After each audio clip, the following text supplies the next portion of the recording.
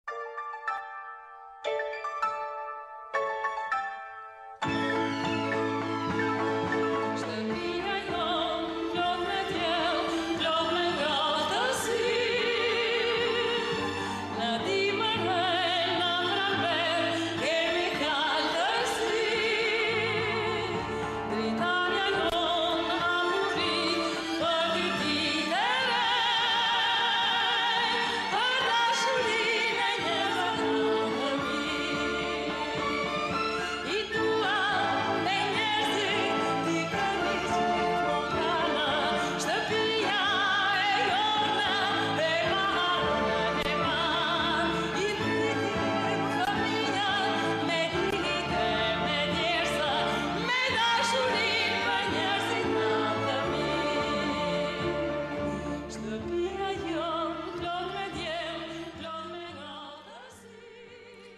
Përshëndetje dhe mirëmëngjes të gjithëve në këtë ditë të sotme, në Dita e Re në Ora News, jemi bashkë në transmetimin e mëngjesit, do të jemi deri në orën nëntë, jemi thuajse në fund të gushtit, është data tridhjetë sot, megjithatë, Mbertemi këtu, afër jush në këtë zgjim të ftuar ekspertë. Mirë, vijmë në studio, jam me Endrit Braimllarin, nënkryetar i Lëvizjes Socialiste për Integrim, ish kryetar i LRI-së, megjithatë flasim pak për Akademinë Verore Politike në tërësi është mbyllur, tashmë me të gjithë feedbackun pozitiv të marrë të përcjellë edhe në shtyp, apo me të ftuar të shumtë, por realisht Ça impakti jep? Ju e ju e kryeni për të disatën herë, Endrit.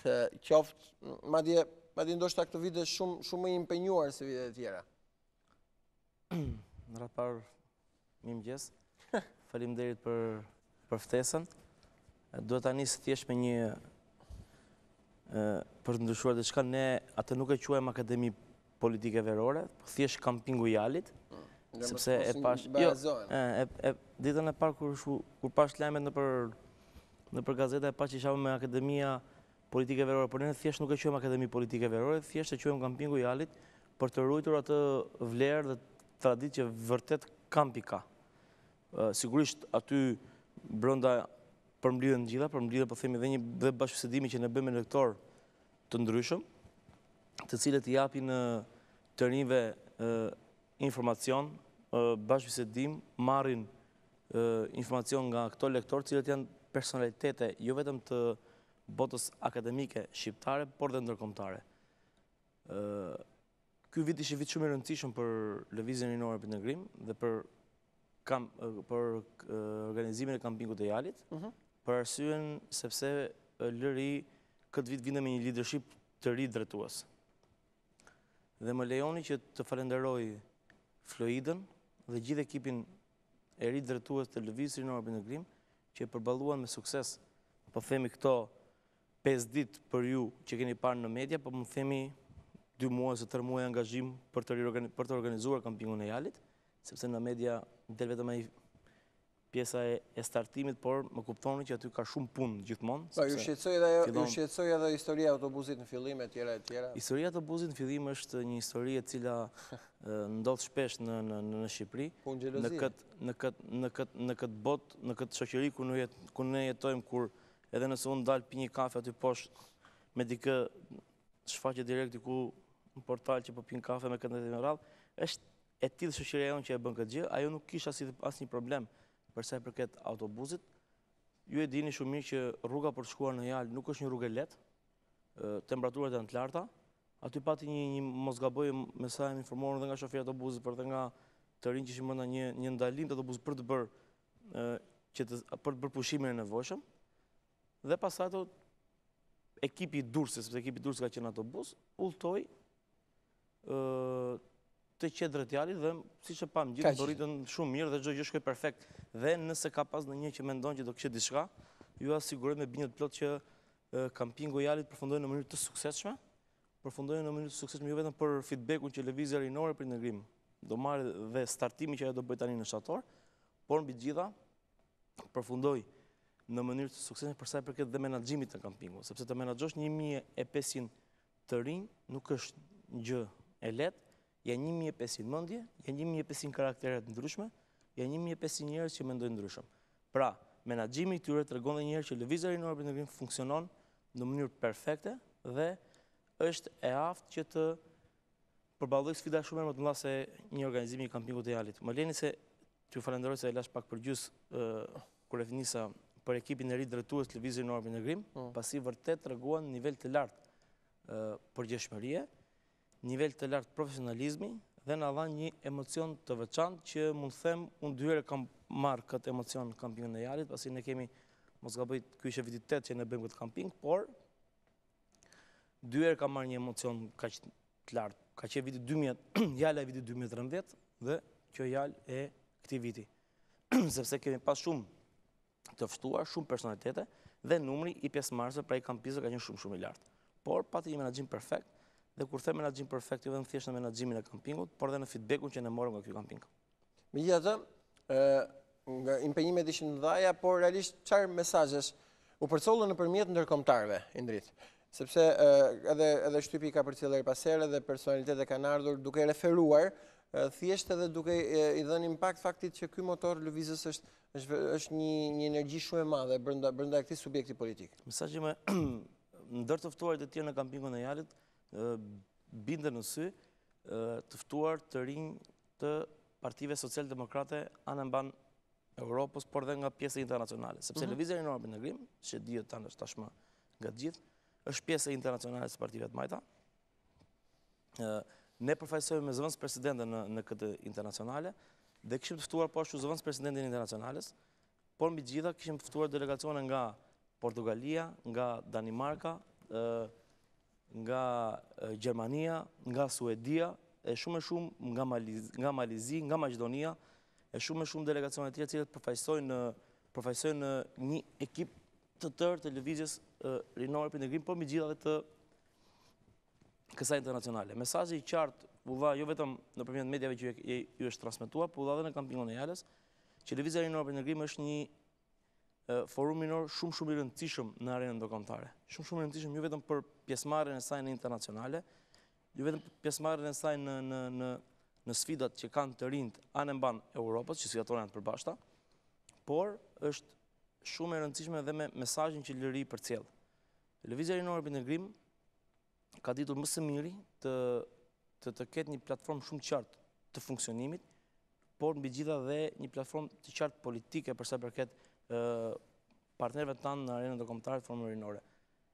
Kemi qenë pjesë e shumë bashkëbisedimeve, kemi qenë pjesë e një debati shumë të hapur, kur temat kryesore që u diskutuan ishte përfshirja e të rinjve në politikë, e ardhmja e integrimit tyre në në Bashkimin Europian, sfidat e globalizmit, shkaqet, dhe mund, probleme që sot rinia has, dhe nuk po themi vetëm për probleme që sot kemi këtu në Shqipëri, por probleme të përbashkëta që kanë të bëjnë kryesisht dhe me sigurinë kombëtare, dhe me probleme që sot janë shumë shumë aktuale. Po zakonisht, le të themi evente të tilla, apo siç edhe ndodhi, shërbejnë edhe si moment për dhënë mesazhe dhe për politikën, apo për aktualitetin politik në vend? Sikundër dhe ndodhi. Paktën mesazhe të mesazhe të drejtpërdrejta për të për të bërë për të bërë me të vërtetë një një shtrat të fortë konsensual. Mesazhi më i qartë që ne mund të marrim nga kampingu i Jalës qoftë edhe për politikën shqiptare ka të bëjë kryesisht me atë çka ne e përmendim kudo dhe jo thjesht e përmendim se duhet ta përmendim. Ka të bëjë me solidaritetin dhe energjinë pozitive që ne transmetojmë me njëri-tjetrin. Ka të bëjë pikërisht me atë dëshirë apo atë pasion të çdo të riu për të bërë një diçka ndryshe, për, për të bërë diçka të ndryshe në këtë vend. Por mbi gjitha, duhet të kuptojmë që mesazhi më i qartë është që politika duhet të fokusohet tek njerëzit e thjeshtë, tek njerëzit të cilët i shërbejnë vendit, duhet të lërë në një anë arrogancën dhe duhet të jenë njerëz të të cilët transmetojnë energji pozitive, janë të thjeshtë por gjithmonë në shërbim të vendit, sepse të tillë janë dhe pjesë anëtarët e atij kampi që morën pjesë, janë njerëz të thjeshtë, njerëz të cilët transmetojnë energji pozitive, por mesazhi më i qartë për thjeshtësinë që ne duhet të ndjekim e marrim dhe nga miqtë tanë ndërkombëtar, po them, po themi që ne kishim një delegacion shumë të gjerë nga Portugalia, ku Portugalia përfaqësohej me dy deputet në parlamentin, dy deputet të, të Partisë Socialdemokrate në në në Portugali dhe të cilët na dhanë një mesazh shumë të qartë të thjeshtësisë që ato përmbanin. Pra pikërisht ne jemi një vënd i vogël, ku duhet lëmë mënjanë arrogancën, sepse arroganca e tepruar në këtë vënd ku ne jetojmë, nuk na bën gjë, thjesht na çon pas dhe nuk na çon përpara.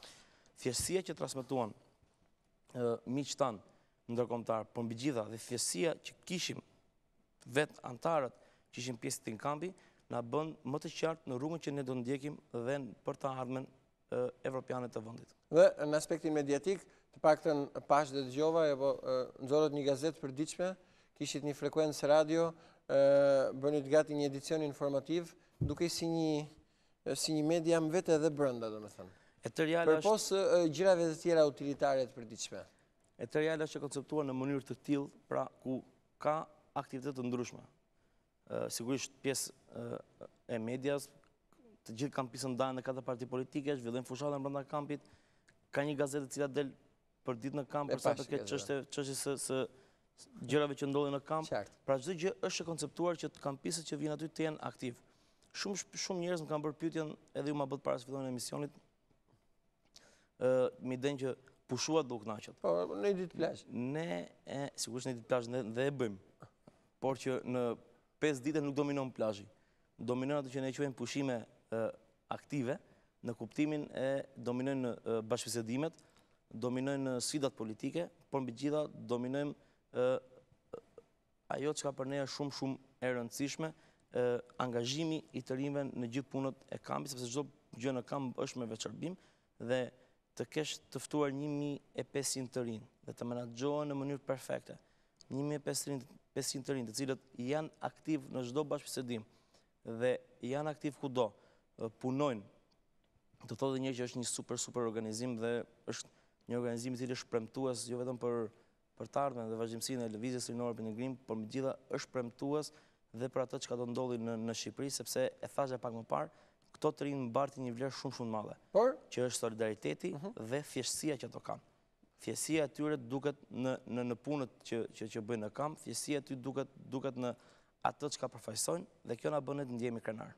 Mirë, do bëjmë një shkëputje të vogël publicitare, kthehemi sërish me Endrit Braimllarin dhe flasim dhe jo vetëm për kampingun, por çfarë, cilat janë pritshmëritë e mëtejme, shtatori erdhi. Mirë vijmë në studio, vazhdojmë bisedën me Endrit Braimllarin, është nënkryetari i Lëvizjes Socialiste për Integrim, po vjen shtatori Endrit dhe keni proces zgjedhor edhe atje.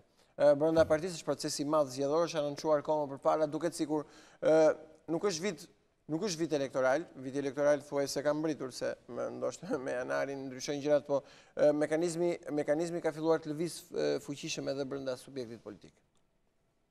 Shtatori dhe tetori janë, po themi muaj zgjedhor për Lëvizjen Socialiste për Integrim. Ne do të mbajmë konventat tona, qoftë konventat kombëtare, por edhe konventat nëpër bashkitë e vendit ku do zgjidhen ekipet drejtuese që do drejtojnë Lëvizjen Socialiste për Integrim pas tetorit, do ketë edhe një zgjedhje në nivel kombëtar ku do ketë një zgjedhje për pozicionin e kryetarit të partisë, të pozicioneve të nënkryetarit, të sekretarit të përgjithshëm dhe të gjithë ekipit drejtues dhe lidershipit të Lëvizjes Socialiste për Integrim, do ketë zgjedhjet për komitetin drejtues kombëtar të të LSI-së dhe e njëjta gjë do vazhdojë pastaj në çdo bashki ose më saktë vazhdon procesi në çdo bashki pastaj kemi një përmbyllje me Konventën Kombëtare të të LSI-së. Është një proces që është shumë i rëndësishëm për Lëvizjen Socialiste për Integrim, jo vetëm për shkak se ne hyjmë në një vit elektoral dhe duhet që ekipet të përgatiten për sfidën e ardhshme elektorale, por është një proces i rëndësishëm i cili hap partinë i cili sjell një një një një energji të re në strukturat e partisë, kur them një energji të re, energjia ka të fillon që nga baza poshtë deri pastaj në nivelet drejtuese të, të LSI-së, që për të gjithë ne kemi kemi nevojë, ne mbyllëm me sukses konventat kombëtare të Lëvizjes Rinore për Integrim mm. dhe sollëm risi për sa i përket organizimit dhe funksionimit të saj, sollëm risi në LRI për sa i përket numërimit votimit dhe numërimit elektronik të të të votave, por ju shprej bindjen e plotë do ketë risi për sa i përket dhe konventës kombëtare të të LSI-së.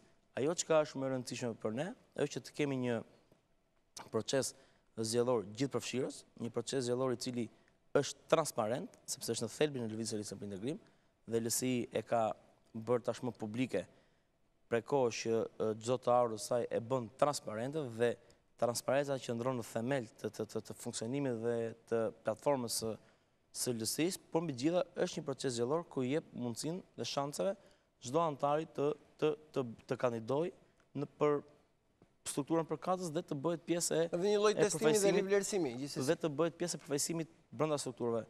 ë Mendoj që është dhe vlerësim për Lëvizjen Rinore për Integrim, sepse do kemi shumë të rinj të cilët do jenë pjesë e e këtij procesi, i cili na bën neve të jemi gjithmonë më të hapur, gjithmonë më gjithëpërfshirës, por mbi gjitha na bën të jemi një një një forcë politike dhe një ekip i cili ë do ta çojë LSI-në ë në zgjedhjet e ardhshme elektorale. Dhe ë nëse i kthehemi prapë, po jo me jo me subjektin e e asaj çka u u zhvillua, sepse kemi trajtuar edhe me të ftuar të tjerë që kanë qenë prezent, por një mijë e pesëqind që ishin atje, domethënë morën mesazhet respektive, po ndërkohë shërbeu dhe për juve për të riparë realisht hartën hartën e plotë të të rinjve që janë pjesë e subjektit.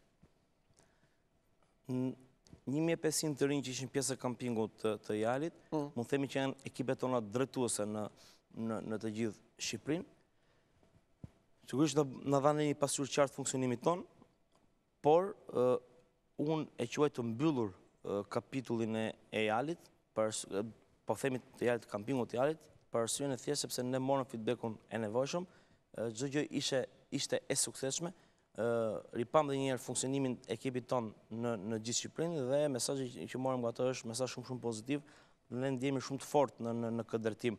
Ajo çka na mbetet tani më është që ne të realizojmë një proces shumë të fortë brenda, kur them të fortë, një proces të suksesshëm dhe garues brenda strukturave të LSI-së, i cili reflektohet kudo në, në të gjithë Shqipërinë dhe të kemi një proces i cili të dominohet nga nga nga nga toleranca, nga transparenca, nga toleranca, nga gjithëpërfshirja, por mbi gjitha një proces i cili do të përfshijë në gjithë strukturat e LSI-së njerëz dhe individë të cilët janë pjesë e shoqërisë tonë, janë njerëz të cilët punojnë çdo ditë në strukturat e LSI-së anembanë vendit, jo vetëm thjesht për t'i shërbyer LSI-së, por për t'i shërbyer dhe shoqërisë, sepse fokusi kryesor i joni dhe ajo çka do kemi po themi si parim kryesor në këtë proces por edhe në vazhdimin tonë është thjeshtësia që duhet të kenë këto njerëz, thjeshtësia që duhet të kenë të zgjedhurit e LSI-së në ndërtimin e strukturave, sepse e thashë, e them dhe një herë dhe e theksoj, në LSI nuk ka vend për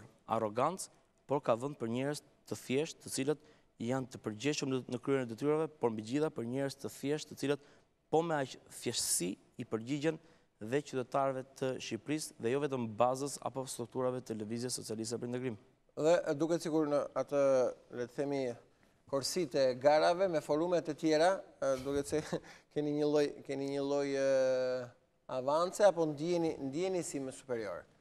Sepse janë dhe forumet e tjera në garë, sido që të jetë. Duke ruajtur linjën e e e e LSI-s apo dhe atë që çka vetë Lëvizja Rinore për Integrim bart, nuk do të jem arrogant dhe do të jem pak i thjeshtë. Ëh, mm. unë nuk e shoh avancë apo sukses të LRI-s. Unë këtë gjë e shoh një proces i cili ka filluar 12 vite më parë dhe vazhdon të jetë në rritje. Unë po jua them me bindje të plotë. edhe nga përfaqësues ndërkombëtarë që ne kishim në kampingun e Jalit, por dhe nga përfaqësues shumë shumë të rëndësishëm të Internacionales së të Rinjve Socialistë nga e gjithë bota, mesazhi i qartë që marrim nga nga nga ato për Lëvizjen Rinore për Integrim është që LRI gjithmonë përmirësohet. Pra çdo gjeneratë që vjen në Lëvizjen Rinore për Integrim sjell një risi dhe gjithmonë është më e mirë që ajo lëmë se ajo që lëmë pas.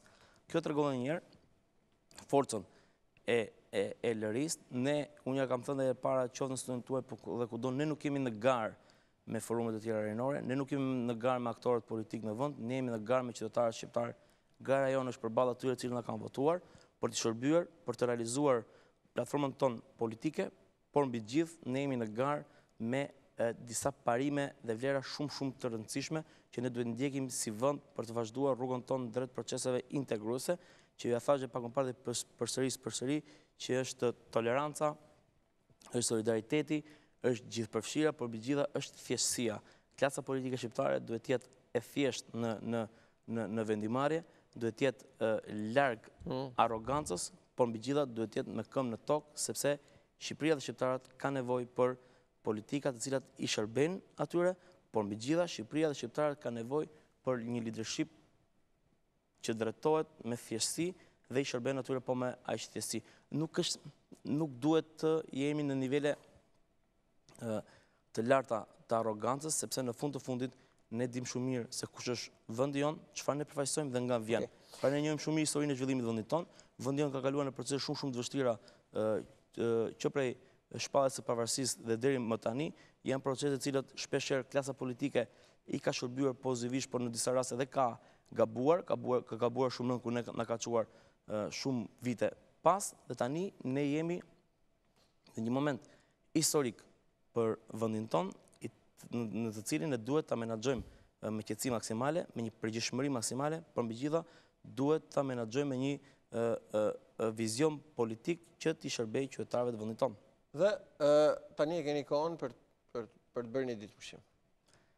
Mbaruan impenjimin e madh, përgjegjësinë e madhe, kjo është si për mbyllje, si për... Nuk besoj se kemi kohë për pushim, se po të qe kohë për pushim, kur më more në telefon do thoja jam pushim, sot nuk vij. Kështu ne kemi, ne kemi filluar punën, jua thashë kemi një proces shumë të fortë përpara, që është procesi i zgjedhjeve brenda LSI-së. Kjo është histori tjetër, një impenjim tjetër në vete. Kërkon një angazhim tërësor tonin, për arsye sepse zgjidhen strukturat që do të drejtojnë LSI-në në 4 vite, dhe jua thashë njëherë që sfidat që ka vendi, me ato sfida që sot përballet Shqipëria, kërkojnë nga ne të jetë një ekip po aq sfidues, të përgjegjshëm dhe një ekip i cili duhet t'i shërbejë vendit. Mirë, faleminderit, Faleminderit. Faleminderit ishim me nënkryetarin e LSI-së, zotin Endrit Braimllari, duke u ndalur te kampingu i Jalës, që tashmë ka përfunduar uli siparin edhe për këtë edicion, por në përgjithësi edhe për procesin zgjedhor që pritet të pasojë këtë subjekt politik shumë të rëndësishëm, me shumë peshë, shumë deciziv në jetën politike të vendit. Mirë, kthehemi në studio me Besian Peshën nga Nisma Thurje, një përfaqësues shumë aktiv së bashku me shumë kolegë, përsa i përket edhe nismave që vijnë nga shoqëria civile, edhe mm, duket sikur është gusht, por nuk mungojnë, Besian. Por gushti ka mbaruar, faktikisht, ka edhe dy ditë.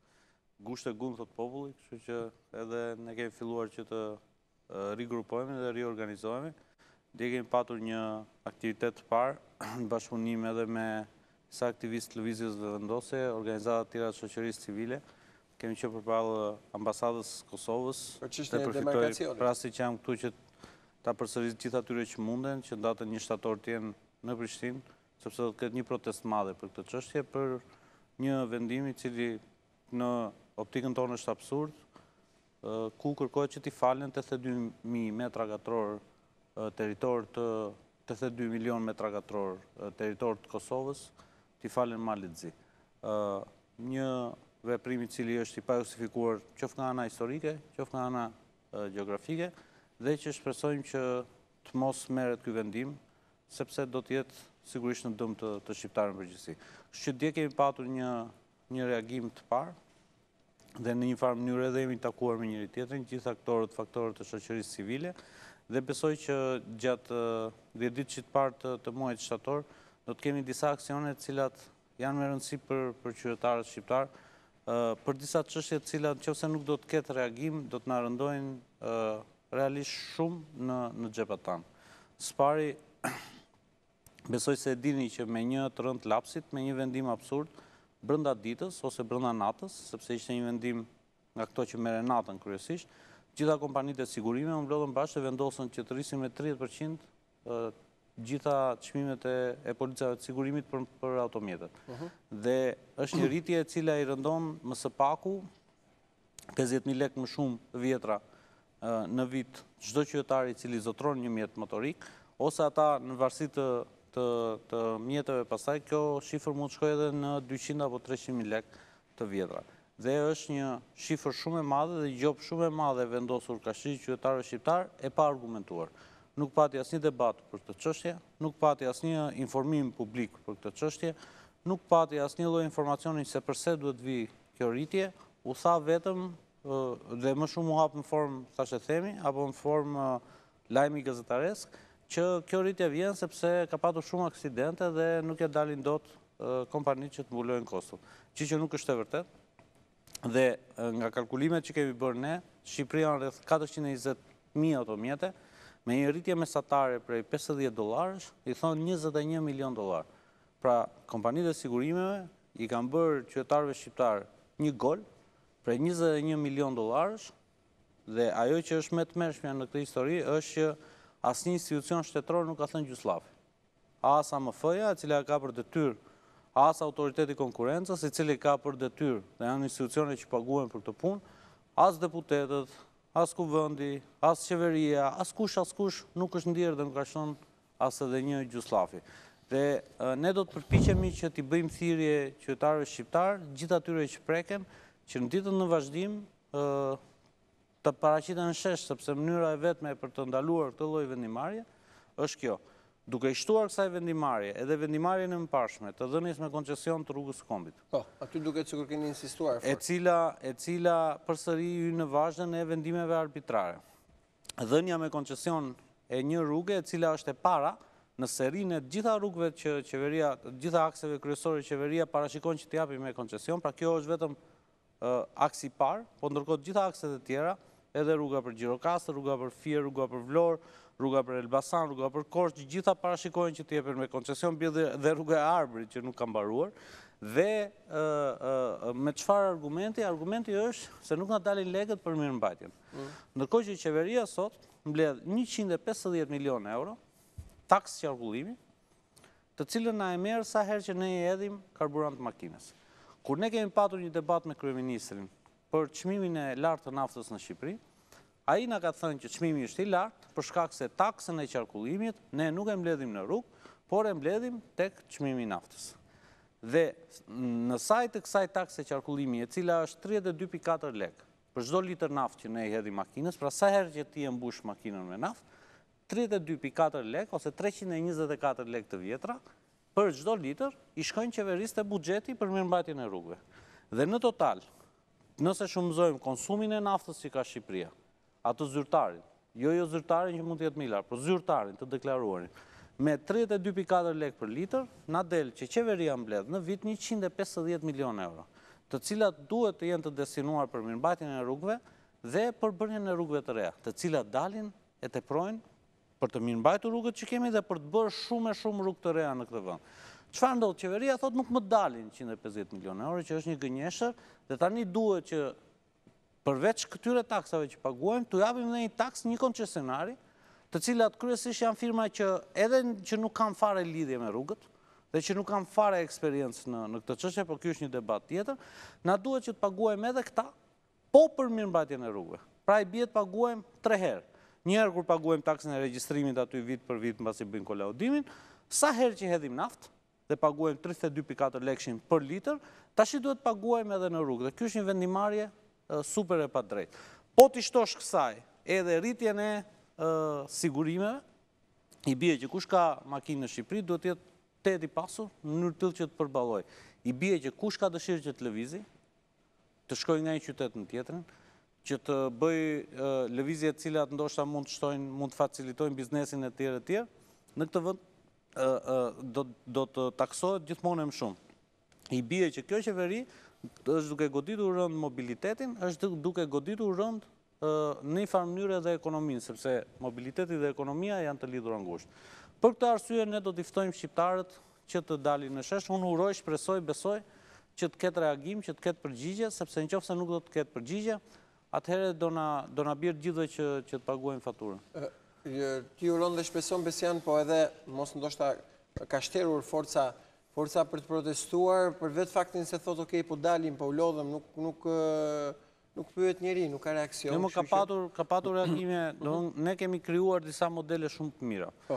Përgjatë vitit që shkoi. Pikërisht për këtë. Kemi patur për shembull me biznesin kemi arritur që ta anulojmë atë ligjin e gjobave, i cili ishte një ligj i cili u miratua, ë, hyri dhe në fuqi, filloi dhe të zbatohej nëpërmjet protestave, duke i gërshetuar ato dhe me rrugët ligjore, arritëm që ta bllokojmë.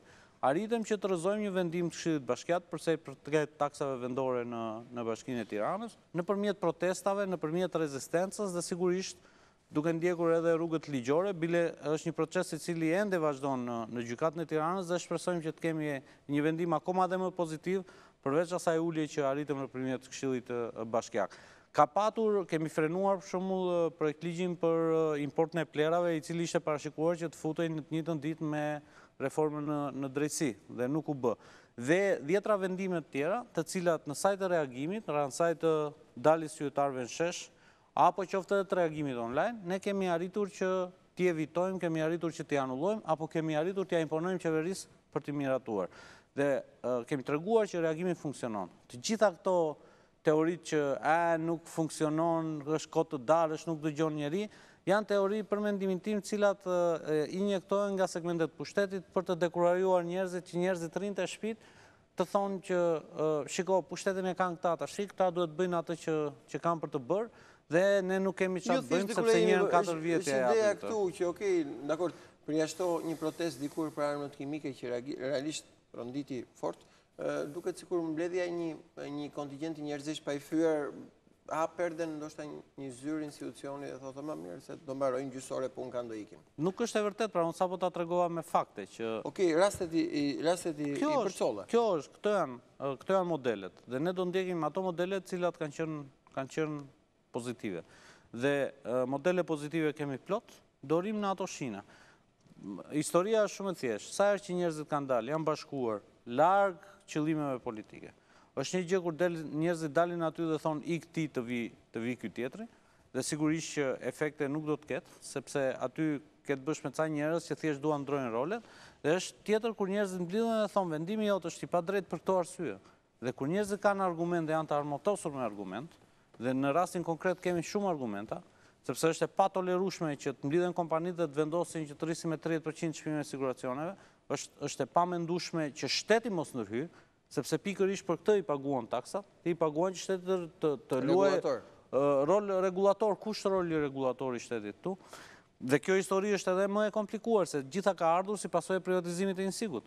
Sepse në qoftë se do ta kishim sot... Megjithatë, megjithatë i dashur, sido që të them, unë e kisha më tepër tek kjo, Besian, tek fakti që tek fakti që jo çdo gjë, si që është shumë e thjeshtë. Jo çdo gjë që, ok, del zyrtarisht, atëherë ja, ok, kurorëzohet me nismën e një shoqërie civile. Dhe në rastin konkret, sa solidar dhe sa në unison janë OJF-të e tjera, apo nismat e tjera të shoqërisë. Se kjo ka më shumë rëndësi. Unë besoj që... Se kur ka përçarje brenda, brenda llojit... Jo, absolutisht. Unë besoj që për këtë çështje do të kemi edhe bashkëpunimin e, e organizatave të tjera, të cilat janë aktive. Ne kemi nisur një proces paraprak bisede midis të gjithëve për të krijuar një, le të themi një koalicion të gjerë. Sidomos për, për çështje të tilla të cilat kanë karakter ekonomik dhe prekin direkt xhepin e, e qytetarëve shqiptarë. 21 milion dolarë në, në vit nuk janë pak. ë për për shqiptarët. Një popull i varfër, më i varfri në Europë, të goditet në këtë formë nuk është pak.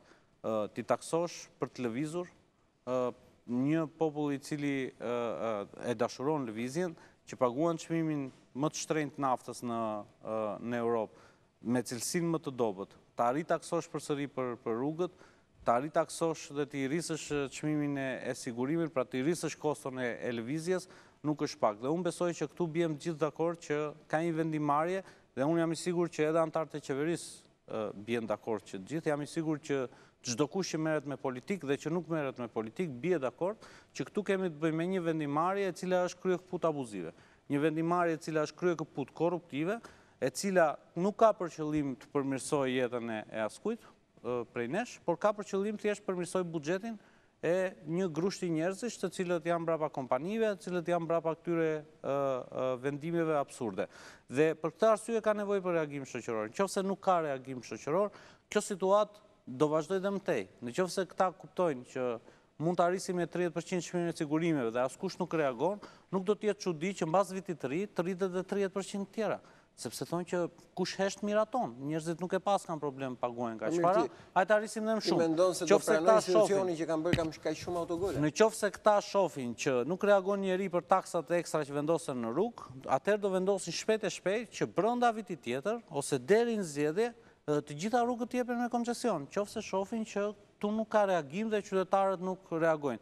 Dhe unë besoj po, që në qoftë se do të ketë reagim, në qoftë se qytetarët do dalin të vendosur, pa flamuj partiakë, jashtë sloganeve të partive, jashtë interesave se kush e merr pushtetin, sepse për ne të gjithë njësoj janë, por thjesht me një qëllim të saktë, të anullohen këto vendime korruptive, unë besoj këto vendime do anullohen. Do anullohen. Dhe ti do të thuash që, le të themi, Vendimmarrësit do pranojnë që kanë bërë autogol. Vendimmarrësit do pranojnë që këto janë... Të shpeshtë, autogol të shpeshtë. Vendimmarrësit do pranojnë siç kanë pranuar në raste të tjera, që këto janë vendime të gabuara. Vendime të gabuara të cilat rëndojnë xhepin e qytetarëve shqiptarë. Dhe duke qenë që jemi edhe përpara një situate zgjedhore, unë besoj që nuk do të duan që të marrin koston, sepse do çdo ditë Ajo që ne do të bëjmë është çdo ditë do ia përsërisim gjithë qytetarëve shqiptarë se kush i ka marrë këto vendime dhe do zbardhim se mënyrën se si janë marrë këto vendime. Kështu që unë besoj që do i leverdisë më mirë edhe politikës, asaj atij segmenti që ka marrë këto vendime, më mirë të anullojë vendimet dhe të fitojë paqen, sesa të ketë një betejë të gjatë, jo vetëm me segment politikës, por edhe me me shoqërinë civile, të ketë një betejë të gjatë me të gjithë qytetarët shqiptarë që do të kujtohen për këto vendime, sa herë që të paguajnë paratë, sa herë që të paguajnë tridhjetë për qind më shtrenjtë siguracionet për automjetet, sa herë që të paguajnë taksë për rrugën, sa herë që të paguajnë naftën më të shtrenjtë, sa herë që t'u prishet makina prej naftës më jo cilësore në këtë vënd. Kështu që, në një farë mënyre, ju keni nisur ta bëni këtë, po ajo që kam përshtypjen kërkoni të instaloni me forcë, në forcë të kuptohet pozitive, është fakti i ndjesisë për të reaguar. duhet që të ketë reagim qytetar. Ky ky sistem nuk funksionon qoftë se qytetarët nuk marrin pjesë. Dhe ne mund të flasim me orë të tëra për për këtë çështje, po përmbledhtazi. Ne e delegojmë pushtetin tonë një herë në katër vjet. Ia delegojmë disa njerëzve. Qartë. Historia ka treguar që ky delegimi nuk funksionon. që realisht shumica e atyre që ne zgjedhim nuk përfaqësojnë interesat tona, aq më tepër me sistemin që kemi sot të listave të mbyllura, ku të gjithë njerëzit nuk i zgjedhim ne, i zgjedh kryetari i partisë, mm. në të gjitha partitë. Dhe çfarë ndodh është që gjithë njerëzit që shkojnë aty në kuvend dhe që ne ne marrim pjesë në vendimmarrje vetëm një herë në 4 vjet, gjithë njerëzit që shkojnë aty nuk përfaqësojnë interesat tona, përfaqësojnë interesat e kryetarit të partisë që i ka zgjedhur. Dhe në qoftë se ne nuk përfshihemi përgjatë çdo vendimmarrje e cila është e cila rëndon në xhepat tona, apo e cila rëndon në mënyrën ndikon negativisht në mënyrën se si ne jetojmë, atëhere këto vendimmarrje të këqija do të bëhen gjithmonë e më të shpeshta.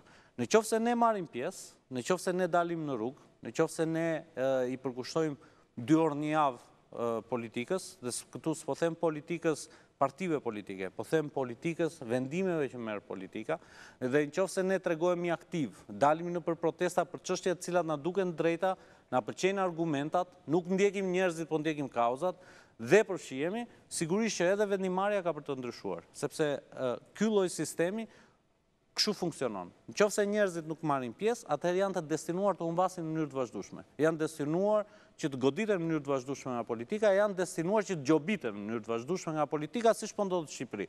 E gjithë vendimmarrja që po bëhet sot në Shqipëri nuk është rezultat i politikanëve të këqinj. Sigurisht që i kemi të këqinj.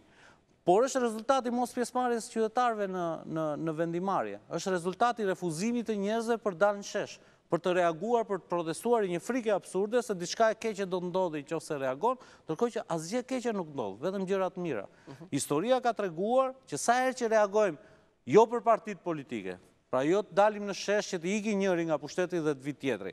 Por dalim shesh që të themi, ore, ky vendimi Është i gabuar me këto argumenta dhe na duhet një vendim i ri, i cili të jetë i mirë edhe për shtetin, edhe për qeverinë, edhe për qytetarët. Dakord, modelet i dhe, po mes, mes, mes, si të thuash, thirrjes së kahershme për mitingje dhe tubime politike,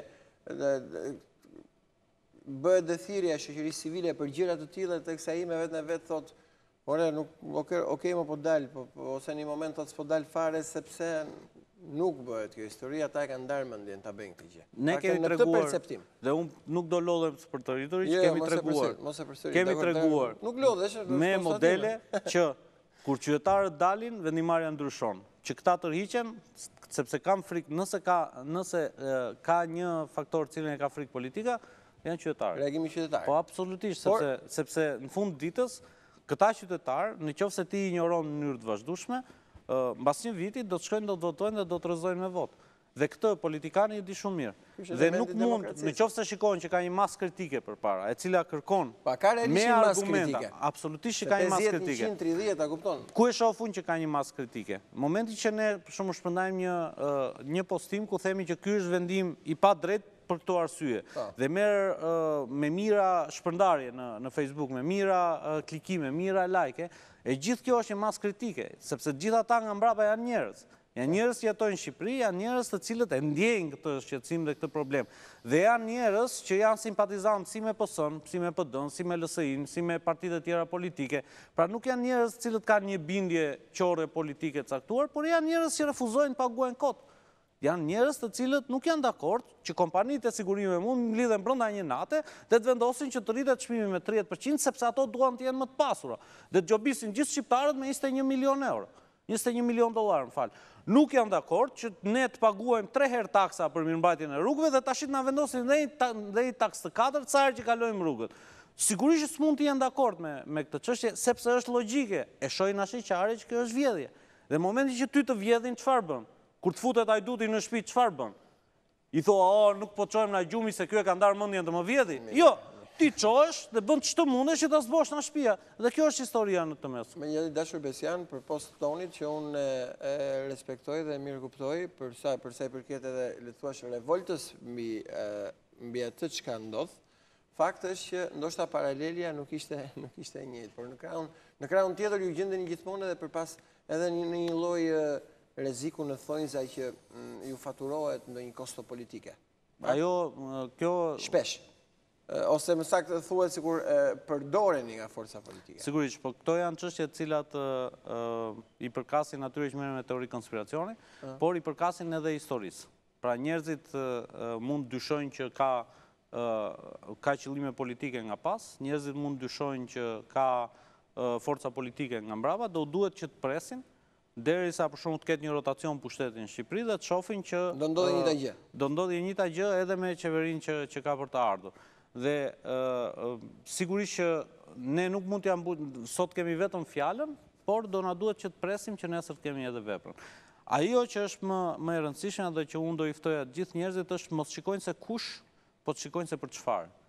Për çfarë. Pra në qoftë se argumentat qëndrojnë dhe ata mendojnë që janë të saktë, në qoftë se realisht u dhimbset portofoli, për rastin konkret kemi dy çështje të cilat janë të barabarta në një, që ka të bëjë me mobilitetin, që ka të bëjë me të gjithë ata që zotërojnë një makinë në këtë vend, që janë Do u shtohet taksa në çdo rrugë që do lëvizin në Shqipëri, duke nisur nga Rruga e Kombit dhe në rrugët e tjera dhe do duhet që të paguajnë, që është rritur me tridhjetë për qind vlera e sigurimit të automjetit, në mënyrë abuzive dhe pa asnjë lloj argumenti, të gjithë këtyre njerëzve kemi një mesazh për ta, në qoftë se doni që këto para mos t'i paguani, duhet të reagoni.